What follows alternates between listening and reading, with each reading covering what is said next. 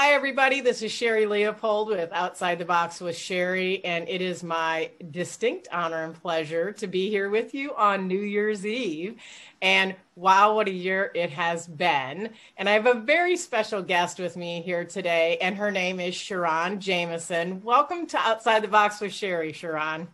Well, I am so grateful to be here, and you look absolutely gorgeous, Sherri. So I'm so happy to be in your presence today. Oh, thank you so much. Now, I've known you for several years, uh, and I know exactly who you are, and I love every part of you. But I'm going to have you share with our viewers a little bit about who is SharRon Jamison and how are you showing up in the world and what what what you're all about. Sure, sure. I am Sherri, first a mom to a 26 year old son. Let me just say that. I'm also a minister who believes in the power of Jesus and justice. I am an author that writes uh, essays and passages and messages to help people really understand who they are outside of their social conditioning. Because I believe that we are more than we know and that we live as a fraction of who we are. We don't understand how amazing we are based on how God designed us. Uh, I am also a life strategist. I believe that success is a strategy. Happiness is a strategy. And there are ways that we can be in the world and navigate in the world that help us stay grounded and help us bloom versus being in a constant state of chaos. So I help design strategies and approaches that are customized so that people can live full lives based on how they are wired because we are all wired differently. And then I am a speaker. I I uh, speak at churches, organizations. I speak at any place that needs a word of encouragement, but a word of inspiration. Um, I'm also still in corporate America. I've been in the pharmaceutical industry or the biopharmaceutical industry for over 30 years. And I help navigate some of the economies that require to make the healthcare system work. So I do a lot of things. Um, and it seems like the, those things are very different, but they all really are in the same vein of service, of justice, of compassion. Uh, and also self love. So I'm grateful to do all those things, and I look forward to doing more as as God continues to extend my life. So I'm really really excited about the things that I get to do in the world. And you know that's exactly if anyone knows me, they they know why I love you so much because we we just help people so much in, in a lot of the same ways and I have always resonated with your message from from day one, which I think was I don't remember if it was four years ago or whenever it was, the very first time that I heard you speak. And I like bought every one of your books, and I did just order your newest book, which I'm going to have you talk about in just a second. Um, you are an incredible writer. You are an incredible speaker and a, just an amazing human being. And that's what we do here on Outside the Box with Sherri is we do shine a light on people who are making a difference in the world. And obviously, you just heard all the different incredible ways that SharRon is impacting the world. So I want you, if you would, just for a second, talk about your new book, why you felt compelled to write it, and um, what that's what, what what your intent was for the book. Sure. My newest book is called Deciding to Soar 2 Unwrapping Your Purpose. And that was a really important book to write because after years of coaching thousands of people, what I realized we all have a purpose. We all have a, a, certain combination of gifts and skills and abilities to offer to the world, and that's part of our place in the world. But what happens is that our purpose gets um, buried under our conditioning, it gets buried under our cultural assumptions, um, it gets buried under our childhood wounds that we've never dealt with. Uh, sometimes we don't get to operate fully in our purpose because there are systemic barriers like racism, sexism, um, ageism, abilityism, heterosexism. There's some, some views and some ideologies that shrink us and don't allow us to maneuver in the way that we can do what we have been called to do. So I wanted to write a book to help people understand is that yes, you still have a purpose, irrespective to what you face but if you look at your life through the lens of purpose, it makes those hard experiences, those painful experiences, uh, more understandable because you understand that those experiences came to refine you and to help illuminate your gifts, your wisdom, your courage that you may have never ever touched on before. So it's important to unwrap your purpose, unwrap the societal shoulds and the assumptions to see who you are in all your splendor. Because if you see who you are in all your splendor, that's when you soar. And so it's really important because the world needs us all functioning on all cylinders. And if you look at the state of the world, Sherri, it, you can see that everybody is not functioning to their highest capacity. Because if so, we would not have a, such uh, an economy based on greed and guns, uh, and equity and unfairness. If everybody felt as if they had an opportunity to offer their gifts to the world, it would be a more equitable, more humane place to live. And so that's my gift. Let's kind of unwrap ourselves because the world needs us. I need you, Sherri, you need me. And when we put ourselves together in some sense of collective responsibility, in some collective care, we both bloom, we both soar. So that's really critical. I love that. I could just sit here and listen to you all day. Well, I probably will at some point. I'm sure they'll have some kind of all day seminar, which I will be happy to be attending. Um, and I'm excited because I don't have the book yet, but it is it is on the way. So, and as I said, I've had uh, all your other ones, and I've actually bought a number of other ones that I that I gifted to people on my team. So, um, I, I've always been moved by your message, and I know that you and I have talked a lot about purpose and what that means, and that you're very very passionate about purpose. Now, I do know that because 2021, and as we sit here on the New Year's Eve, the last day of what for some has been just a completely horrifying year, and for some it's been a really blessed year, and it's been, you know, a, a huge uh, difference for a lot of people. Like some are great, some hated it. Um, going, you know, what I'd like you to talk about is if you could give some maybe thoughts on 2020 and what maybe people can take out of this sort of tumultuous sort of roller coaster year for a lot of people what they can take as lessons from this year uh, what a great question, Sherri.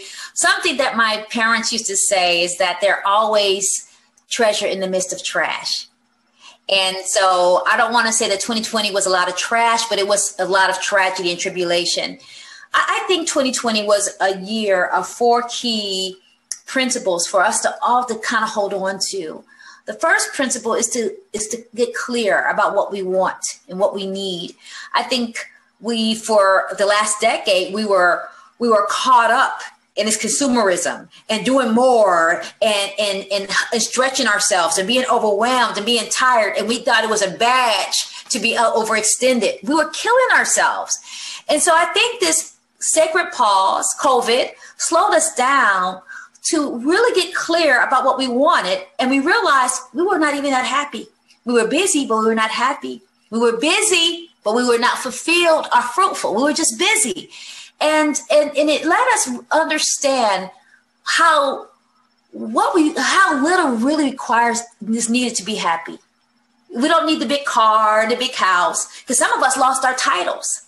But we did we understood that our jobs and our titles was not our identity.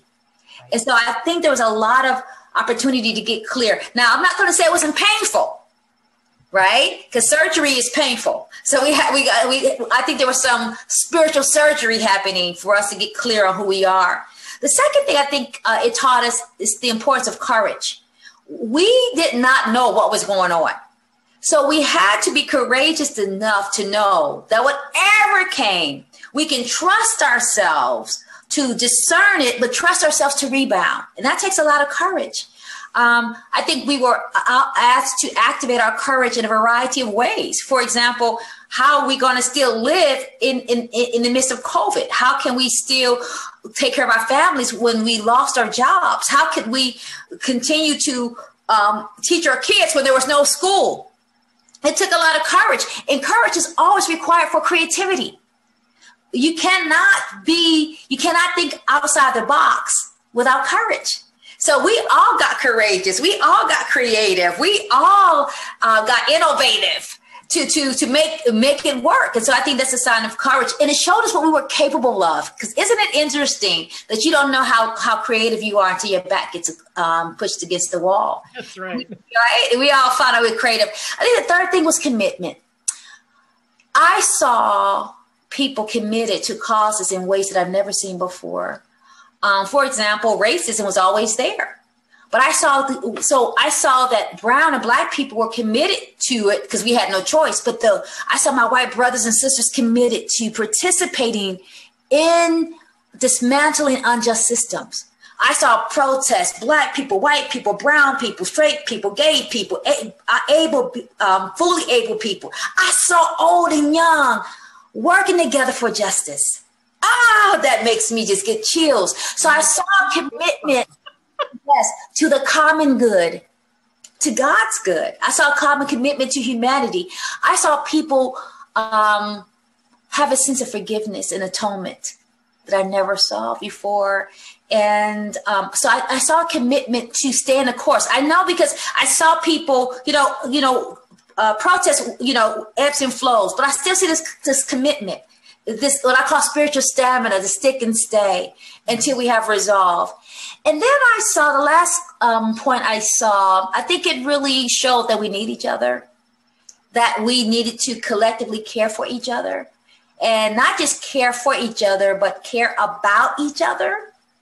And um, I saw people reach out to me and care for me in ways I didn't know that I needed to be cared for. Because, like you, Sherry, I'm always the strong one.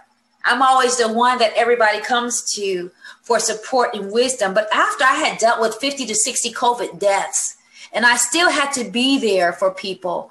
I needed people to prop me up so I can c- continue to serve because I didn't have a chance to opt out, right? As a minister, I didn't have a chance. And I saw people care for me and it let me and it broke down my barriers because I had this image of myself that I was superwoman. Now I didn't say that, but that's what how I behaved unconsciously. And to have these people come into my life and say, sweetie, go sit down, go take a rest. It's okay. Um, and I needed somebody to care for me in ways that I could not care for myself. So clarity, courage, commitment, um, this sense of collective um, effort, collective care. Those were the lessons. And I hope we hold on to these lessons because God has a way of making us repeat the lesson if we don't get the lesson. So I hope we get the lesson and hold on to it because I don't want to repeat it too many more times. That's right. Yeah, take a breath, right? 2021. Woo! Yay. So, oh, that just so eloquently put. I love that, SharRon. And and you're such a master of words. Oh my gosh. Anyway, uh, I think that's an amazing um, viewpoint for 2020 and you know 2020 being the year of clarity like everything that you spoke of in those four points all reflect back to being clear and clear about your purpose and and clear on what is and what you are and and things like that. So with that being said and all those lessons and those things that we've learned from 2020 no matter how hard they were or how much of a blessing they were how do you what do you say to somebody who's sitting here maybe looking at a blank piece of paper with a goal sheet uh, and thinking about going into 2021 um, and and they're they want to pursue that purpose um, that they feel is inside them. Because this is really part of your mastery is really lighting up and helping people really reach for that purpose.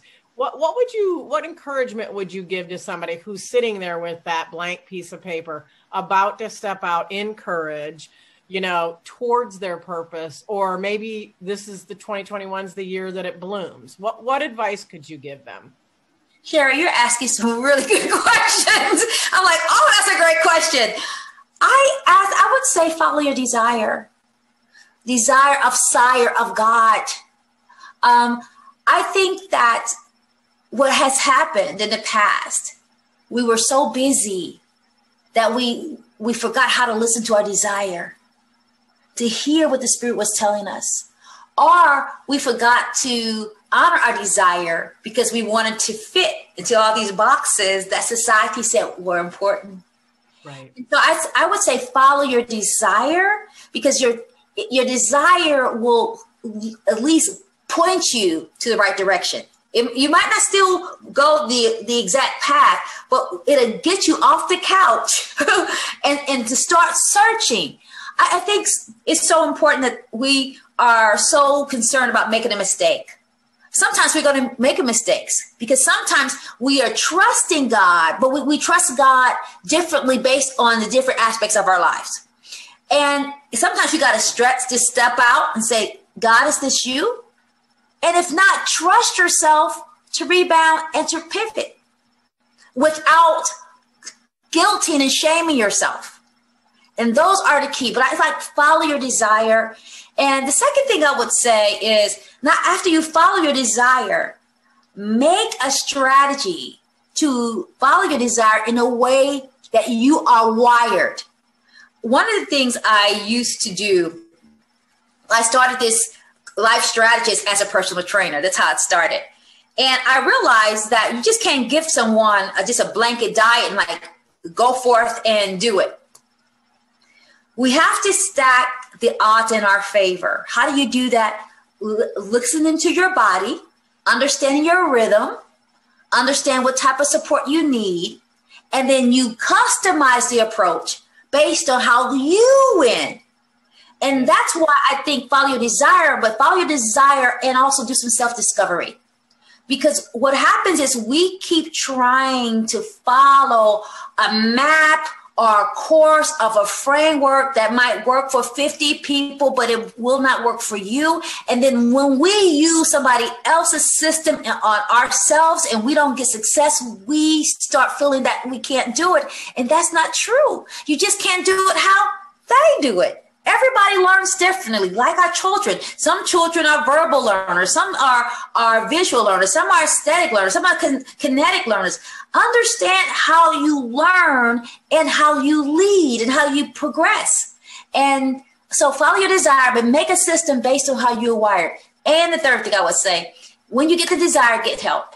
Oh, I had to learn the hard way because we have blind spots that we don't see and in my new book, Sherri, I have a chapter called it says it takes an, another set of eyes to rise. Oh, we can't rise by right? We need someone else to see what we can't see. That that and not only see what we don't see. Because if you have had a lot of trauma, trauma hides your truth. So even if you see it, you might not know what you're looking at. Right? So I think those are the things I think is so critical to help people move forward in their purpose. So that 2021 can be more aligned with what they feel in their heart and what they believe in their body. So you I think that we're not going to get whole until our head, our heart, and our hands are moving in the same direction. If our head is over here, our heart is over there, and we're doing something totally different in our hands, that's a schizophrenic, uh, fragmented experience. And you can't make you can't make a progress. You won't get be fruitful. You will just stay frustrated, and frustration it will kill your joy um, more than anything else in the world. So those are the things I would say. And you know what? It'll thwart you from ever standing in your purpose or leading with your passion when you're just stuck in frustration. So, whew, that was a lot. That was like a whole nother book for me. I just absolutely love it. So if you wondered, I don't know but SharRon Jamison is a life strategist. You absolutely watched with us. You absolutely know why um, she has earned that title, and um, she personifies every bit of that. And um, you know what? Here's the thing: if if if you are stuck and you're looking at the blank piece of paper and you don't know where to go, how does somebody connect with you um, to maybe you know work with you to, to, to, fill that page? Yeah thank you so much sherri. You, you're blessing my you're blessing my entire whole heart today. Thank you. Mm-hmm. um, there are very way, ways that you can um, people can work with me um, because again we all learn differently and we all like support differently. So if a, uh, if a person likes one-on-one Some people learn that way. I have, they can work with me one on one in a VIP situation or an intensive. Some people like groups situations because there's, there's a lot of collective wisdom and any companionship, especially in this COVID experience. I, uh, I Dare to Be Me is starting soon, I think in the last week of January, where uh, we work together for six months. I keep my group small on purpose. Um, I think maybe 10 or 15 uh, max for me because the level of intimacy I believe we need um, for transformation um, is critical. I, I, think I don't want, I'm not a transactional coach. I'm a transformational coach. So we keep it smaller so we can have input so I can pressure test your perspectives. And then, so it's small enough that people can feel like they can share without judgment. And there's a sense of confidentiality. So that starts um, the third week of January. And um, th- uh, this year, depending upon what happens on COVID, I'm going to have, I always have uh, relationship intensives. I do a lot of marriage counseling. I don't talk about it a lot. Um, but I, um, I think I'm going to do one relationship intensive this year that I really, really enjoy. I have a class called the 10 Touchy Topics that derail relationships and I love to talk about that. And I'm already writing, deciding to soar three. So that might be out by the end of this year. So those are the things that I would love to, and invite people to work with me.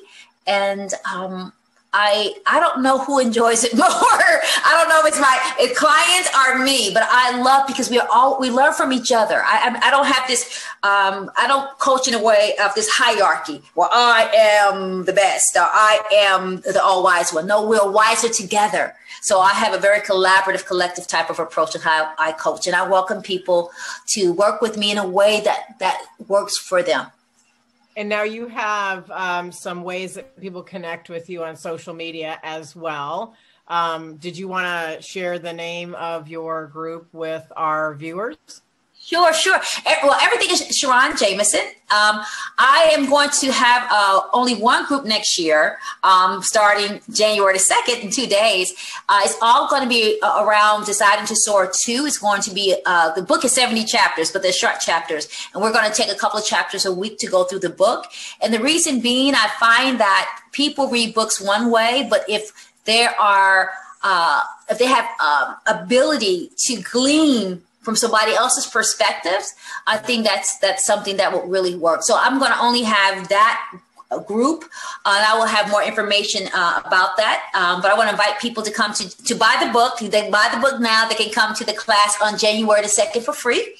And I'm going to talk about the five lessons that I learned from my elders that will help us reposition and catapult our lives for 2021. I love it. I love it. I love it. I love it. So, and we'll post the link. And, and what's the best way for people, SharRon, to get your book? Is it from your website, Amazon? What what makes you uh, the happiest for the place people to go? Obviously, they can go to your website. Um, is it the Jamison Group or is it? Yeah, the Jamison Group. But if they can, the book has its own website, so they can go decidingtosoar.com or they can go to Amazon.